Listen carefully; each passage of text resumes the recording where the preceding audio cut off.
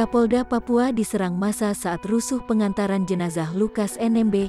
Kapolda Papua Irjen Matius D. Fahiri turut menjadi sasaran massa saat pengantaran jenazah mantan Gubernur Papua Lukas NMB berakhir ricuh. Irjen Matius langsung dievakuasi buntut insiden ini. Beliau sudah diamankan di pos polisi Sentani, ujar Kabit Humas Polda Papua Kombes Ignatius Beni Parabowo kepada Detikkom. Kamis, tanggal 28 Desember tahun 2023, Beni tak menjelaskan lebih jauh soal kronologi Irjen Matius turut menjadi sasaran massa. Dia juga mengaku belum mengetahui kondisi Irjen Matius. Masih menunggu informasi kondisi beliau, kata Kombes Beni. Diketahui, sejumlah aparat turut menjadi sasaran massa saat kerusuhan.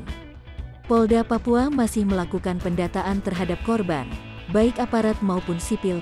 Iya, ada aparat diserang, saya belum mendapatkan data korban masyarakat maupun aparat, katanya.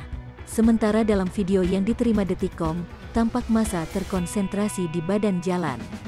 Perekam video menyebut Kapolda Papua Irjen Matius turut menjadi sasaran masa. Airport sampai dengan lapangan Stakin STT Gidi di Kabupaten Jayapura. Kita lihat ini jenazah telah tiba beserta rombongan baik pejabat dan masyarakat. Seperti diketahui bahwa masyarakat awalnya memalang jenazah depan pintu keluar ruangan VIP. Hal ini dilakukan lantaran mereka meminta agar jenazah diturunkan dari mobil jenazah untuk dibawa berarakan berjalan kaki dan setelah disepakati bersama. Mereka pun langsung membawa jenazah dengan mengiring berjalan kaki bersama dari Bandar Udara Sentani sampai dengan di lapangan Stakin STT Gidi.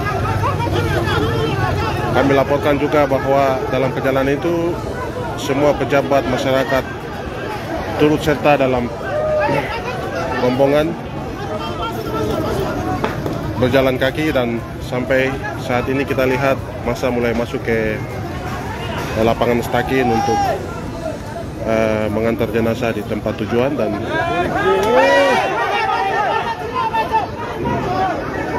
perlu kami laporkan, laporkan juga bahwa dalam perjalanan sempat terjadi sejumlah lemparan hingga berdampak kepada beberapa mobil dan bangunan ruko yang ada di pinggir jalan pecah. Download Tribun X sekarang. Menghadirkan lokal menjadi Indonesia.